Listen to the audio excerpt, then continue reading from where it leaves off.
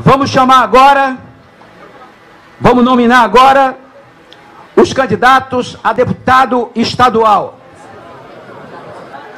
Major Fábio Ruz.